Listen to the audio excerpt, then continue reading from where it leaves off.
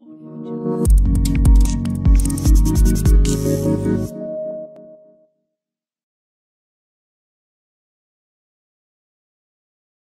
evening, ladies and gentlemen. Myself, Daniel, representing PMS Bazaar. I welcome you all for the insightful session on uh, dynamic asset allocation, the smarter way to uh, navigate market volatility. On behalf of the participants, I welcome Mr. Siddharth Vora from Prabhudas Lilladher. Uh, before we proceed, let me give a, a quick introduction about uh, Siddharth. Siddharth is the head of quantitative investment strategy and fund manager at Prabhudas Lilladher. He was instrumental in developing Prabhudas Lilladher quantitative uh, proprietary module by conceptualizing and spearheading multi-asset dynamic portfolios, which is a nimble and broadly diversified portfolio which has over two and a half decades of history worldwide, and it's uh, catching up in India in a big way, which has more than 12.5 trillion USD in assets under management.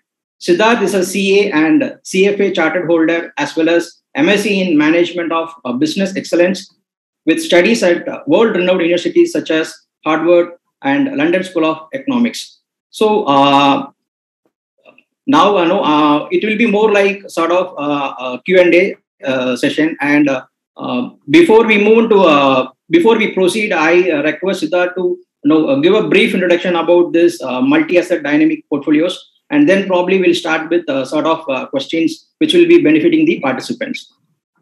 Great.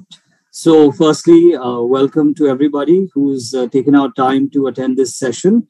And thank you so much, uh, Daniel and the PMS Bazaar team, for giving us this opportunity to help investors uh, protect their capital in these tough times and navigate market volatility with a lot of ease. So, I'm going to talk a little bit about the whole concept of dynamic asset allocation and why that is the smartest way to navigate volatility on the upside and on the downside uh, but before I get there, a little bit uh, about Prabhudas Lilladher, uh, the company that we belong to. So we have been in the capital markets business since 1944, and with nearly eight decades of experience and wisdom that we bring to the table, we wish that all investors uh, can benefit from our diverse teams, our leading research DNA, and the trust that we've brought in the industry for the last so many years. And uh, now I think it's time we can start the Q&A and uh, talk about how asset allocation is relevant in today's times, even more than it has been in the last decade. Over to you, Daniel. So, yeah, see, uh, uh in the testing time like this, so how do you manage the multiple risk and uh, control uh, portfolio volatility through your, you know, your you know, portfolio strategies? Sure. So, firstly, uh, let us understand what the risks are and where the risks come from. So, risks are usually external in terms of macro, monetary, inflation, geopolitical, but the volatility is internal to the portfolio. So, our job as fund managers is to manage these risks and control the volatility. If we have a look at what's happened, you know, year to date in the world across asset classes, it seems extremely evident that whether it is bonds, government bonds, corporate bonds, equity indices around the world, it's been an extremely hard year. Uh, all the assets have uh, given up a lot of the returns made in the last two years. And there is a very clear trend that equity indices and risk on assets are out of favor today. We also need to understand why this is happening and how this can be managed. So I think a uh, couple of points here. Firstly, uh, because of COVID, the Fed balance sheet had expanded almost to $9 trillion, which has been a historic high. And managing that kind of debt, it's extremely difficult. And to manage it, what we've started now is come from a quantitative easing cycle, then gone on to tapering, and now we are actually on the cusp of tightening. And tightening is, we are just starting this cycle. And when we go into a rate hike cycle, many uh, spillover impacts can be clearly visible. For example, borrowing becomes more expensive. Inflation that is already at highs is compressing uh, corporate earnings. And, and a combination of this can be seen in contracting PE multiples because as your discounting cost or your discounting factor goes up, the first impact is on PE multiples. And this is a double whammy because inflation is hitting margins and therefore compressing earnings. Combined with that, we are seeing rate hikes, which is also going to hit multiples. So it is uh, a dicey situation on managing pure equities. And therefore, we believe asset allocation could really help in such a period. If we look at some of the emerging themes uh, globally, and uh, this is what the data is telling us, that till 2021, the concern was around inflation and reflation. As we stand in 2022, the talk is more about stagflation. Stagflation is basically a combination of slowing economic growth and rising inflation. And this is an extremely rare phenomenon. And it's happened only a couple of times in history so far. Uh, if we look at uh, what the data suggests, all the uh, large countries and economies are actually dealing with inflation numbers way higher than their central bank targets. So this is challenging. Other than that, if we see how the IMF is uh, projecting the world to move ahead, across the board, emerging economies or advanced, developed economies, they've slashed down GDP forecasts. So therefore, growth is uh, a concern. And at the same time, they've increased their inflation forecasts. So if we see for 23, uh, inflation forecasts have been uh, revised from 4.8% to 6.5% for emerging economies. Similarly, uh, GDP forecast has been cut from say 4.7 to 4.4 for 23 and 4.8 to 3.8 for 22. So this is uh, a difficult macro and monetary combination that we are facing. And uh, another factor that we need to understand in terms of the risks building up in the system is also valuation uh, given the flux of liquidity that we saw post COVID, a lot of growth stocks uh, and momentum stocks did really, really well. And overall, risk on assets performed very well. Over the last six months, what we've started noticing is that valuations and value as a factor in investing has started becoming relevant all again. And therefore, we must be able to decipher not just how the macro and monetary regimes are evolving, but also how to be conscious on the valuation front. We cannot be paying too much for an asset whose earnings might compress or the discounting rate might go up. Therefore, the multiples we give to those earnings might, might collapse. And uh, even when we look at um, Indian markets, we see that crude has uh, negative bearing on how GDP growth numbers, inflation, and current account deficits are impacted. So, what we've collected here is that every 10% rise in oil prices shaves off 2%, 0.2% of GDP, distorts the current account balance by 0.3%, and increases in inflation by 40 basis points. So, as of now, we are in a crude, uh, crude rise environment, and we need to be aware of these risks also. Other than that, uh, weak INR will cause higher imported input costs and higher imported inflation Therefore, it will put more pressure on companies and businesses that are dependent on imported raw materials or uh, commodities for that matter. And the last thing we need to also see is that commodity inflation is at historic highs right now. And as of now, there are no trends of this reversing. This is probably a combination of the geopolitical tension in Russia and Ukraine. At the same time, the lockdowns in China also have some impact. So at this point of time, it is very important to understand how to really move ahead through these cycles and what is the right mix of assets that help us navigate. So here I've put a very sno- uh, short snapshot of how we move asset class and risk based on the different cycles we are in. So right now, uh, we're looking at uh, monetary tightening in the short term where interest rates are going up. And therefore, a clear focus must be on inflation proofing if it's an equity investor, inflation proofing becomes very important. From an asset allocation perspective, overnight uh, money market funds and short duration uh, debt instruments become very relevant in the portfolio. We have come from a cyclical growth and recovery phase, basically. So, right now we are here and probably also between these two zones, and therefore the asset mix should be tilted towards infl- inflation proofing, monetary market, uh, I mean, money market funds, and government bonds and gold. And we are coming from here, which is commodities, cyclical stocks, risk on assets, and growth companies. So it's very important to understand that the dynamics and the paradigm has shifted for the visible future, and therefore the portfolios must also reflect this shift. so now coming to how we really do it. So this is a snapshot from 2007 till 2022, how all the different asset classes have performed and how does an asset allocation approach, whether conservative, aggressive, moderate, or dynamic, which is our fund, how do they perform in these cycles? So basically, uh, if we look at uh, aggressive, moderate, and conservative, across all the years, we've been in the median and above median category, never too low, never too high. But the whole uh, point of multi asset dynamic is consistency, stability, and peaceful sleep at night. So you don't have to worry about what's happening in the markets. Your capital beyond a point will be protected. And we generate alpha with capital arbitrage here. So every time there's a huge drawdown in the markets and our portfolios are not in risk assets, we basically have double the capital to deploy at those lower levels. And that is what helps us generate alpha over different cycles.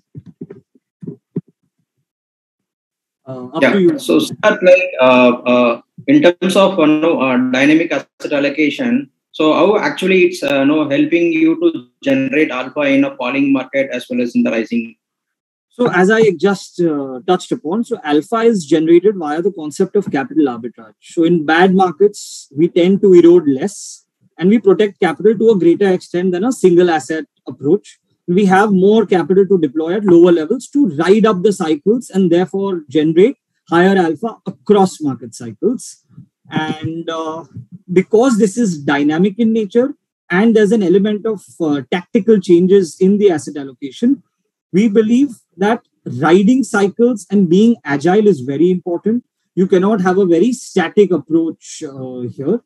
And I think the biggest source of alpha is eliminating sector risks, eliminating style risks, and eliminating stock selection risk. Focusing purely on asset allocation because we believe 90 95% of returns are actually contributed by the asset allocation decision itself. And therefore, being in the right asset at the right time with the right exposure helps us navigate cycles better. Obviously, uh, we also don't get it all right, but over a long period of time, our attempt is to get most of it right. And I believe our historic tests and live performance do suggest that we are fairly on the right track as of now. And uh, just to illustrate on the point of you know eliminating risks that is an extremely important part of managing uh, volatility at the portfolio level. What we've done here is uh, we identified the different sources of risk that could be built into a portfolio. For example, uh, stock, uh, sector selection, and style selection risk. So, firstly, these are eliminated by going into passive instruments. And if we look at the data, I think this is the last three months. Uh, Nifty 500 has fallen 7.5% in the last three months, which is like the broad equity index of India. It's 2.7 times more than how much MADP has fallen in the similar period. Another important statistic to understand is 69% of Nifty 500 stocks have fallen more than twice the fall in MADP in the last three months. And 49% of Nifty 500 stocks, which is almost half of the Nifty 500 stocks, have eroded four times the wealth of MADP. So the idea is by sticking to a passive and dynamic asset allocation approach, we are able to control these uh, market falls and to a huge extent. Other than that, the next risk we talk about is sector selection. So here we've just populated all the different sectoral indices and how they have performed. So if you look at three months, MADP has is down say 2.8%, but 2.8% is much better than all the other indexes which have fallen between 10 to 15%. So the idea is to systematically eliminate each of these risks and therefore protect capital. And the last risk that we try to avoid is uh, a pure play asset selection risk. What I mean by that is when I'm extremely uh, heavily concentrated on a single asset class, my returns tend to be volatile in the short to medium term and therefore also reduce long-term CAGRs by that extent. A multi-asset approach, on the other hand, helps you reach that same destination of superior consistent returns, but the journey journey is extremely smooth. That's the real point here. So again, if we look at uh, three months data, we're down, say, 2.8%. But most of the other asset classes are down much higher, including gilt. Can you imagine gilt is down 1.8% because of uh, the rate hike cycle that we went through? Corporate bonds are down, NASDAQ is down, all the asset classes are down right now. But the idea is by shifting the mix, we try to ride this uh, volatility through. What do you, Daniel? Yeah. See, uh, uh, over the long term, uh, do you think uh, passive fund management can outperform active fund management, Siddharth? Uh, yes, I do believe so, and I'll show that with data. Uh, so this is uh, a snapshot basically where we've seen that even in India, so as on the Western markets, this trend is uh, widely popular, where uh, passive funds are outperforming active funds and also gaining the lion's share in terms of AUM. So if we look at uh, the data here, there has been a very, very clear and evident shift in terms of investor preference from active to passive. In 1998, uh, the passive mix of total AUM in the US was, say, at 11%. Moved to 2019, we are already at 50% in terms of passive. And the early data uh, that we're getting for 2022 shows that we are north of 69% in terms of passive mix of the total AUM. So, this is what the Western economies and the developed markets are showing us. And this is partly because of lower cost of passive. At the same time, Western markets are way more efficient. So as the markets keep becoming more efficient and the information arbitrage reduces, what we tend to see is that generating alpha becomes harder. Over the last five years, we have also seen this trend starting in India. If you see the spree of the new passive funds that are being launched by all the AMCs, you will understand how things are changing on ground. And in terms of uh, performance numbers, what we've noticed here is that roughly 80 85% of actively managed funds are not able to beat the passive benchmarks itself. When the performance is not there, why would you justify a higher cost, right? So passive instruments gives you the ability to reduce your cost at the same time eliminate style bias, sector bias, and stock selection bias. And we believe over the next few decades, passive is going to become extremely massive in India, like it has in Western economies. Okay. So, uh, uh, what are the proprietary quant methods used by you to manage the asset allocation in such uh, dynamic and uncertain times like this? Okay. Uh, so this is uh, basically the secret sauce and the entire architecture which is used to navigate uh, asset allocation and it's basically the core of the product and if investors understand how this model works, what are the constituents that drive asset allocation, the conviction to go for an asset allocation strategy goes up 10x. So I'll start with uh, explaining the way we look at equity investments, right? So whenever we are evaluating a stock, we look at a couple of simple parameters, whether it's the quality of the business, the management, uh, the balance sheet strength and quality, cash flows, growth, and valuations. These are broadly some of the common factors we look at across quality, growth, and valuation. Even when we are doing asset allocation, the concept remains the same that we need to understand what drives asset classes, what drives cycles of these asset classes, and what factors help us identify inflection points in these asset classes. So we've tried to decode this whole piece. And uh, the first factor, which we believe is extremely important on a long cycle basis, is economy itself. So we have a proprietary tool called the macrometer, which focuses purely on understanding economic cycles and where we are in part of the economic cycle. Are we in a strong growth regime? Are we in a steady growth regime? Are we in deceleration, recovery, or slowdown? And the macrometer understands not just the domestic economic cycle, but also the global economic cycle, and therefore gives us a strong perspective on how asset allocation should be done keeping the economic cycle in mind. Uh, the next factor, which is extremely important, is the monetary cycle, because monetary cycle gives us a view on the interest rate regime, the liquidity, and the broad money supply in financial markets.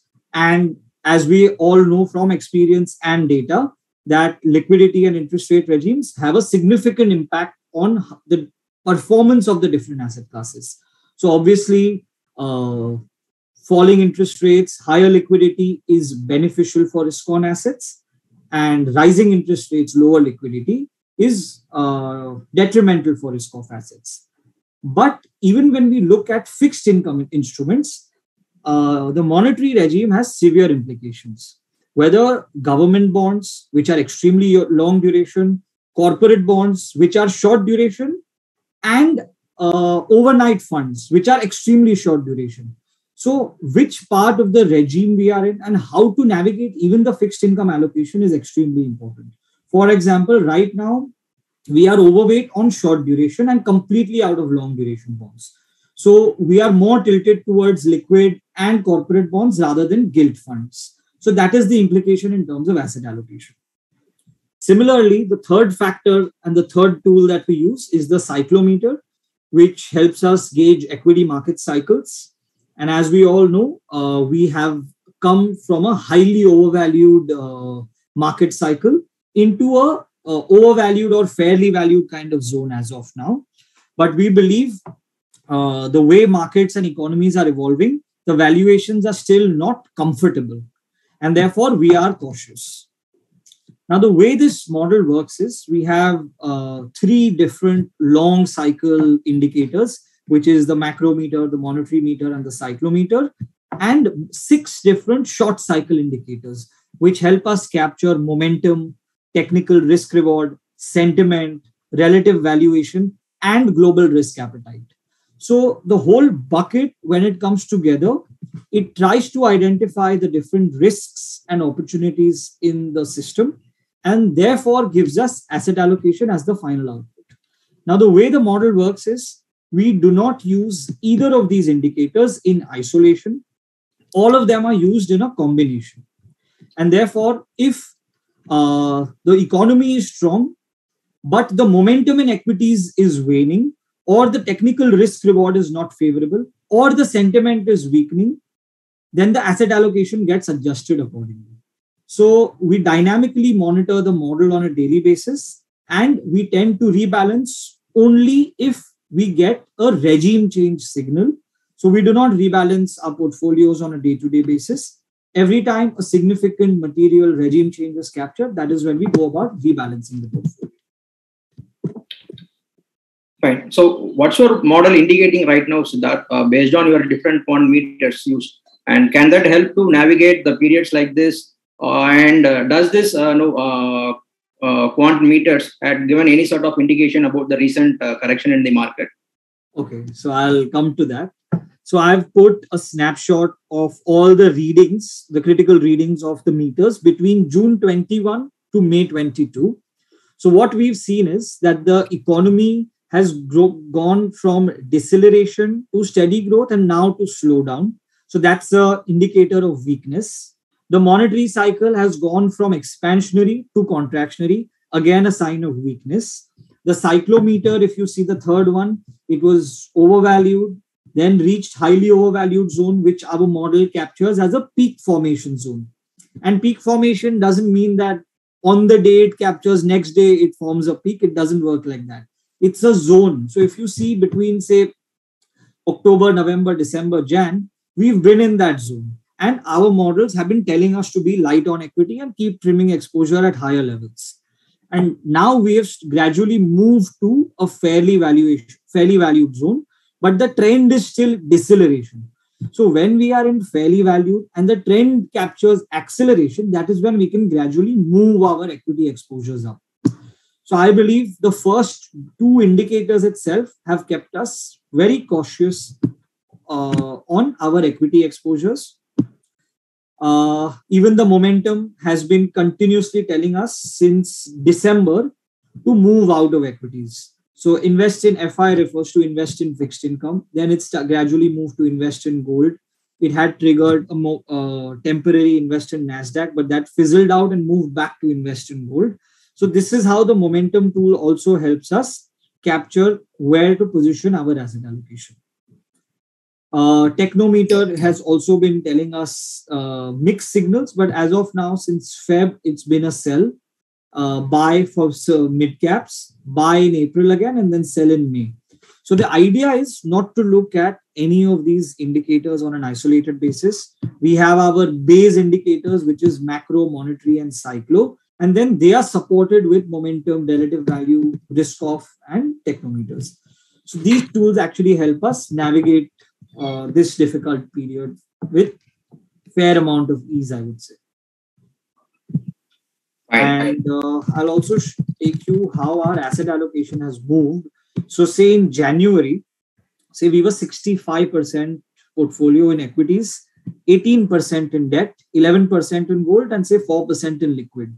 This mix over the time has actually changed to 42% equities, 29% debt, 15% gold, and 12.5% liquid. So this is basically showing you how over, over the times the asset allocation has changed and how dynamic the model has been uh, in terms of rebalancing. Uh, to give you two particular examples, in January itself, we had sharply increased our gold allocation from 8% to 20% almost.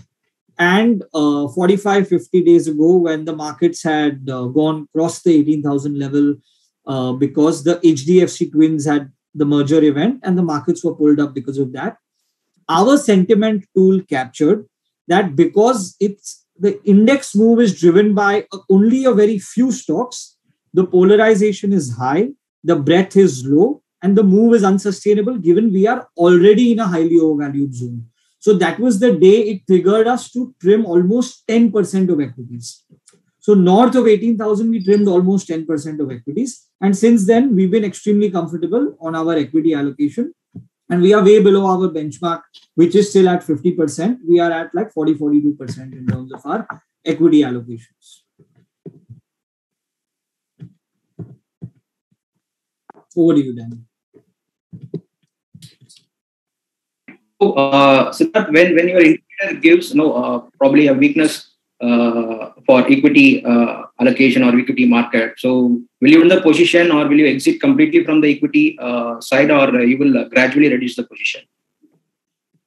So we don't take uh, sharp decisions in terms of trimming portfolio from 80% to 10% or 15% overnight. That's not how it works. It works in a staggered manner. And uh, I don't think our model is uh, built in a way that overnight you know we sharply reduce or increase exposures. So i think we stagger it in 10 10% kind of uh, moves. Then uh, with the rising crude prices and commodity inflation across the board so how is your portfolio insulated from this uh, Siddharth?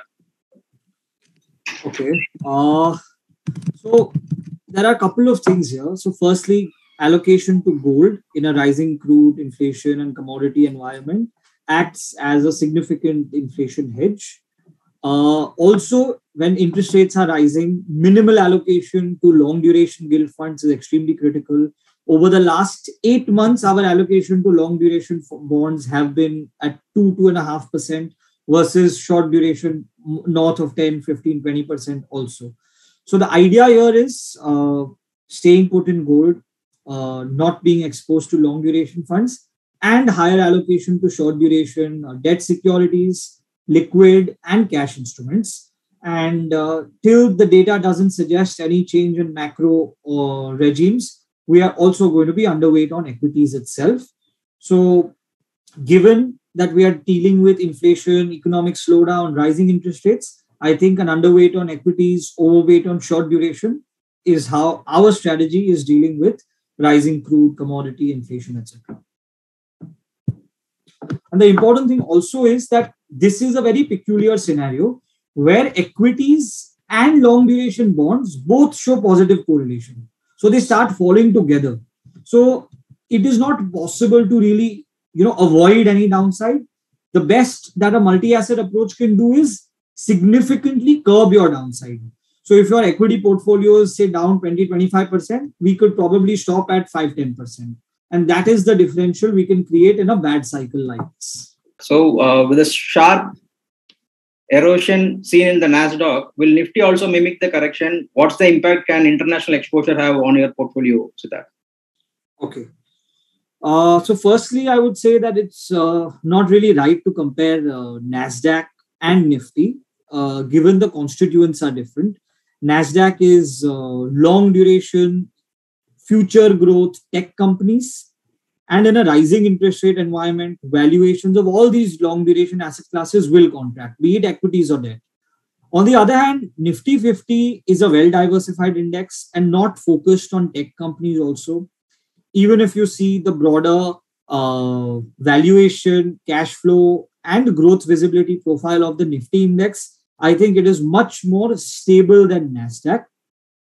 We can, however, compare S&P 500 to Nifty to a certain extent. Because if you look at the data, S&P 500 is uh, down about 17, 18% from the recent highs, and Nifty is down also 15% from the recent highs. In the exact same period, Nasdaq is down more like 28, 30%. So comparing Nasdaq to Nifty is uh, not really an apples to apples comparison. And uh, global markets are co-related but not co-integrated. And that means that if a certain market falls by X percent, it is not necessary that uh, Nifty also falls or Indian markets also fall by the same percent. The problem of inflation, I would say, is much more serious in the US than in India. And economic outlook for India over the next three to five years, I think it is the best compared to most of the other emerging markets and developed markets. So it is not necessary that domestic equity indices might fall in line with global indices in the current cycle that we are in. And uh, given that our allocation to NASDAQ is very meager, so we were 8% in, say, 2021, we're down to 4, 4.5% as of now.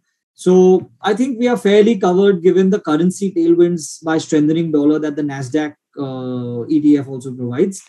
So what we need to understand is the rupee denominated NASDAQ index, which we invest in, versus the dollar denominated NASDAQ index, which is the global representative.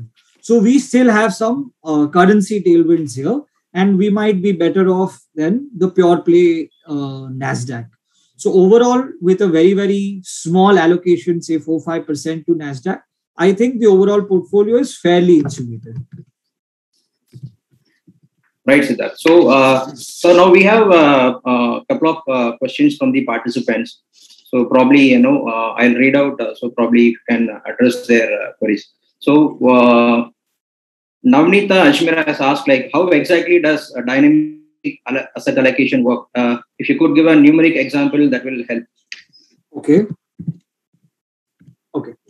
So if you could give some numerical example, for example, he say having 100 rupees. So how that you know, uh, dynamic asset allocation will work? So that's what his okay. question is.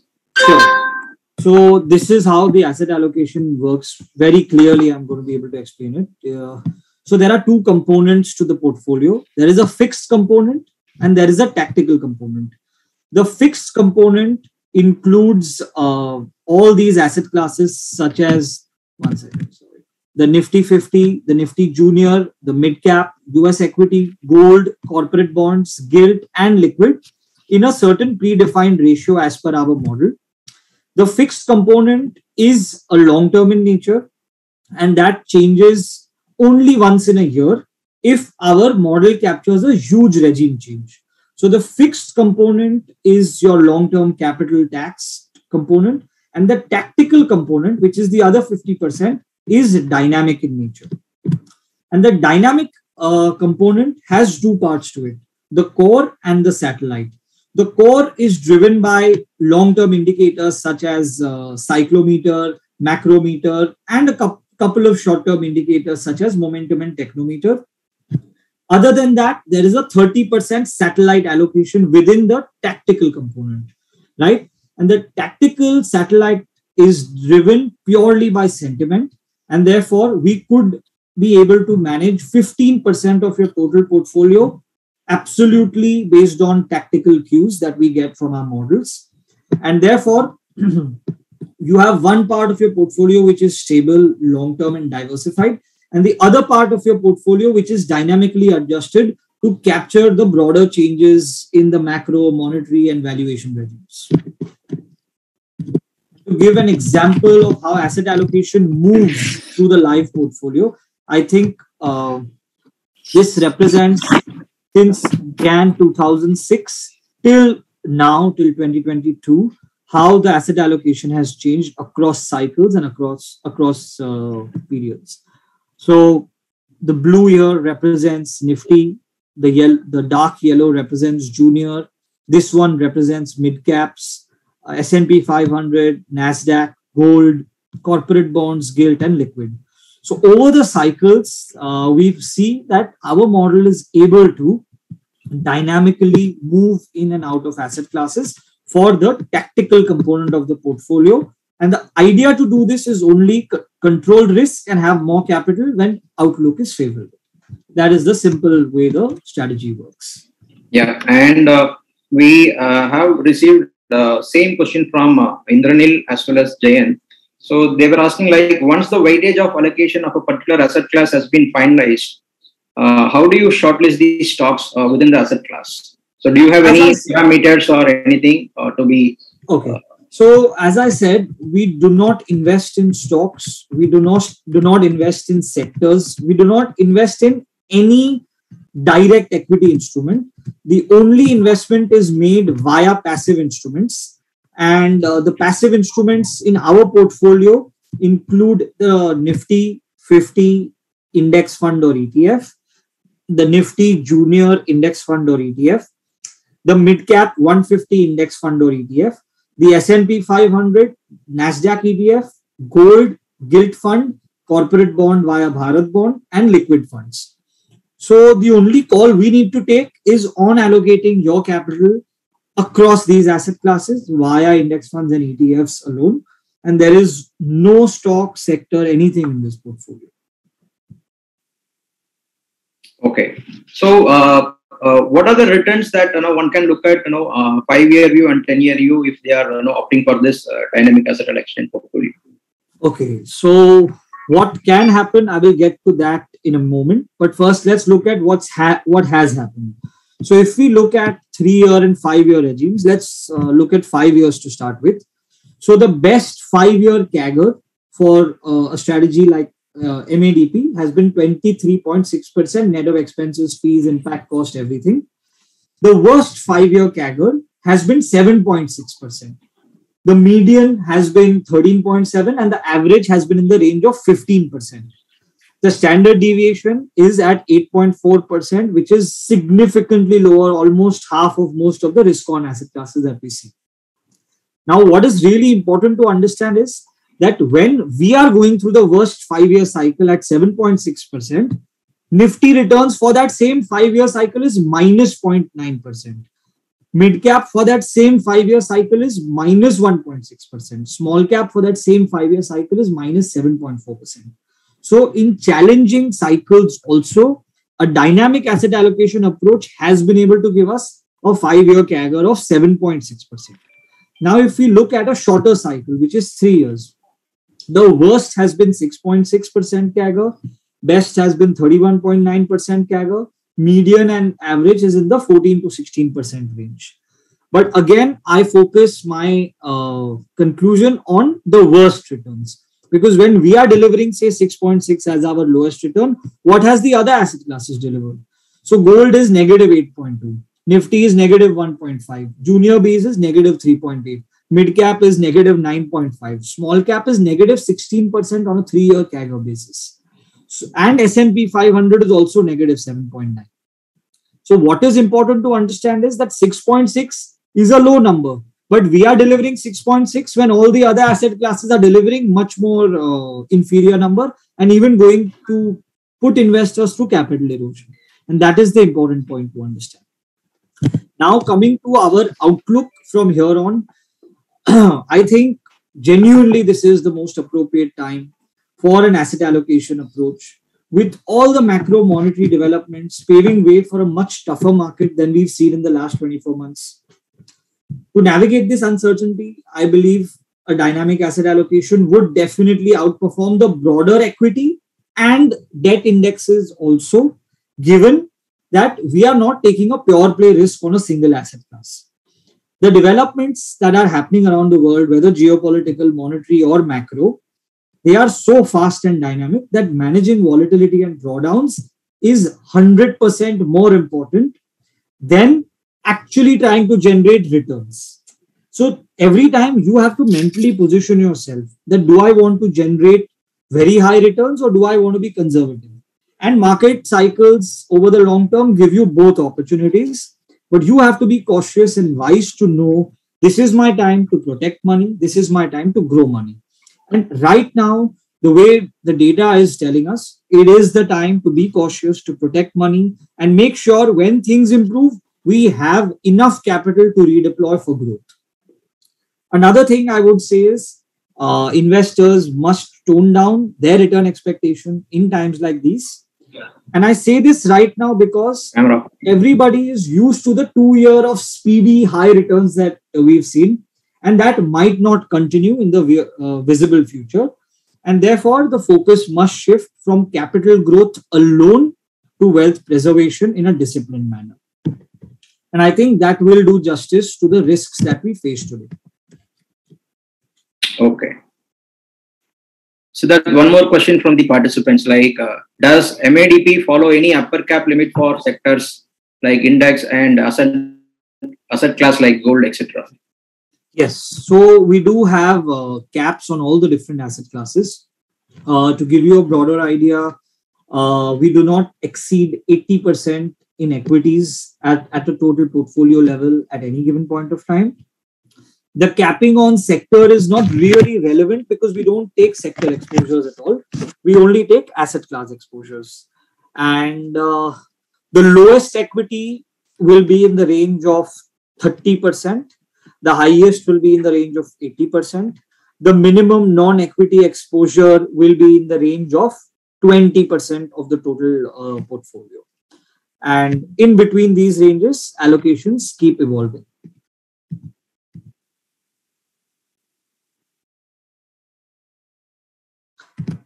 I don't have that data on this slide yet, uh, but I can probably get that sent to PMS Bazaar and PMS Bazaar can send it ahead to the clients who have this requirement.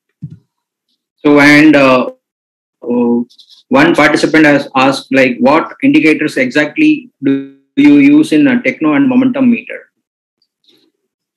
So, in technicals, we have more like eight different technical indicators, which are a combination of uh, MACD, RSI, Hull, uh, Super Trend, and uh, those are some of the indicators we use. But it's not just what indicators we are using. The challenging part is how we are using these indicators. So identifying that okay, I want to invest in high quality stocks. That is easy, right? But how to find high quality? That is the challenge. So it's more about how we use some of these technical indicators what kind of weights we give them how we use them as signals etc and in momentum we follow a dual momentum strategy. Uh, dual momentum focuses on absolute momentum in all the asset classes and relative momentum across all the asset classes. And therefore on a rolling one month three month six month one year basis we want to gauge whether the trend is changing at a particular asset class level or amongst these asset classes. So in January, uh, our momentum meter was the first to indicate that the trend is shifting gradually from equities to gold. And therefore, we were able to increase allocations from 8% to 21% to gold. I hope that answers both the questions on momentum and technicals. Yeah, yeah. So, and uh, finally, most of the participants, they were uh, very keen to know about your no fee structure, uh, what is the exit clause and other stuff. So, okay. So uh, there are two uh, fee structures. Uh, the one we do recommend to all the clients is a fixed fee of 1.25%, uh, uh, zero entry load, zero exit load, no lock-in periods. 1.25% is your management fee or your fixed fee, and 15% profit share above the 10% hurdle rate. So 10% hurdle, 15% profit, 1.25% fixed fee. This is the hybrid model. And uh, a few investors over a long cycle have also preferred a fixed fee model. I believe the fixed fees are at 2%. And there is no profit share component in this. Right. So basically, you will use the higher watermark level when you take Absolutely. the hurdle rate. Absolutely. The higher watermark is applicable. One second. So, and uh, one more question has come now. So it will take, this is the last question. So, so he's asking like, uh, uh, so when you are in your presentation, you are saying that you are investing in short tenure bonds, right? So you have invested about 25% uh, uh, in Edelweiss Bharat bond ET1. Uh, does this contain only short duration bonds? So these are corporate bonds, which are short duration as compared to government bonds, which are 10 year bonds. These are uh, rolling three year bonds. So they have the ability to uh, revise with the movement in the interest rate cycle, which a government bond does not have. And even if you evaluate the performance of the three different durations, which is long, short, and ultra short, it's very evident that long duration bonds are penalized more heavily, short duration bonds a little less, and ultra short duration bonds are not been penalized at all. And the also uh, the other reason is when we are parking funds in short duration bonds, if you hold them to maturity, you anyways get the yield to maturity and the whole capital back. So it is tax efficient on a three-year basis, anyways. And some of the very basic questions, like I myself uh, address that. So it is uh, a PMS product, not AIF product, and the minimum investment for uh, this uh, PMS scheme is uh, for 50 lakhs. So any PMS, the minimum uh, investment is 50 lakhs. So, so dear participants, if you have any other questions, you can know write to us at events at the rate of pmsbazaar.com so uh, we'll try to uh, collate all the questions and we'll get the answers from Siddharth Vora and we'll uh, send across to you. Uh, so with that note, we will uh, uh, conclude this webinar. dear participants, once again, thank you for joining us for this insightful session. And thank you, Siddharth, for sharing your knowledge. And no, and I hope that all the participants would have gained or understand about uh, know, the dynamic asset allocation, the way that Prabhudas Lilladher is you know, uh, managing you know, uh, clients' money. And uh, wishing you happy and safe weekend. thank you, everyone. Thank you. Thank you.